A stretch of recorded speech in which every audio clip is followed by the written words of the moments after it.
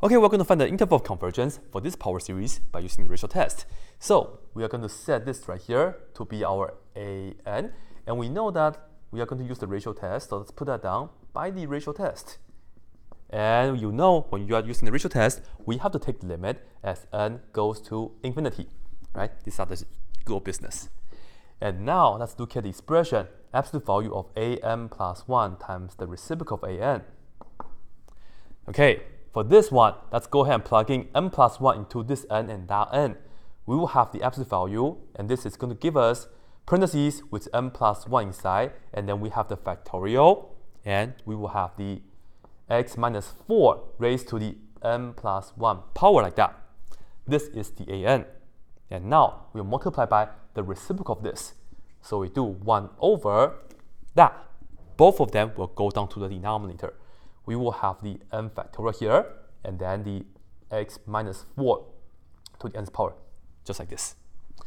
And now let's simplify this a little bit. We can rewrite this as n plus 1 times n factorial.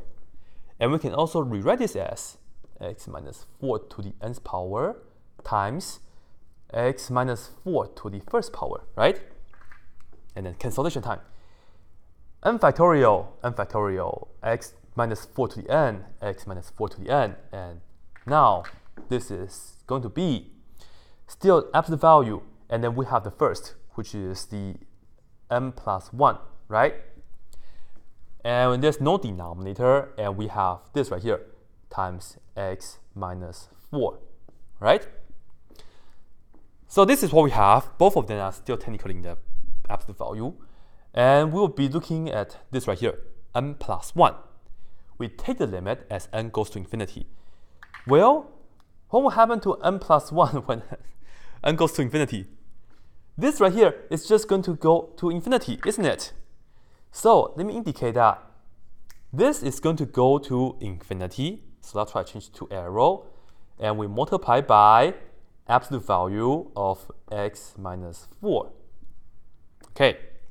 Usually I will tell you we have to set this result here to be less than 1 and then we have to try to solve for x, right? However, when you have infinity times x minus 4 like this, this is always going to be infinity, right? Can we ever make this true? Well, this right here, it's only true when x is exactly equal to 4, right?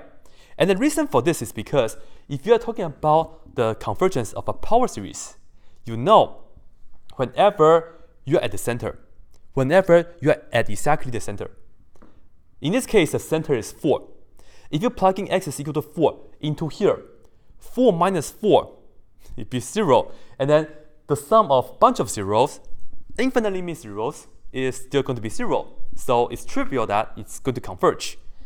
In this kind of situation, whenever you end up with infinity times absolute value of x minus whatever plus whatever, this is never going to true unless you pick x is equal to the center, right? In this case, once again, this is how we're going to answer it, right? The radius of convergence, in our case, it's technically equal to zero because we don't move out anywhere at all. So I'll draw you guys a number line. Here is my center, 4, right?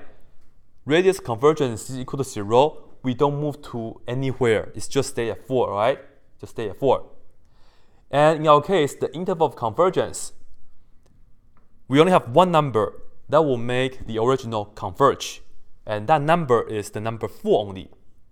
And this is just a set of one number. It's not interval anymore. So I will just put down this is the set of a number using like brace for that. All right. So it's not really like a interval, but once again, I will just write it down like this as usual. Okay. Radius of convergence is zero, and technically the interval of convergence, the convergence set is just a set of one single number, and that number is the center, which is 4, right? And that's it. I know some of you guys may be wondering if I should really say this, only true when x is equal to 4. Because if I plug in 4 into here, I get infinity times 0, and that's technically indeterminate, right? But the deal is that I, will, I should really say this right here only converges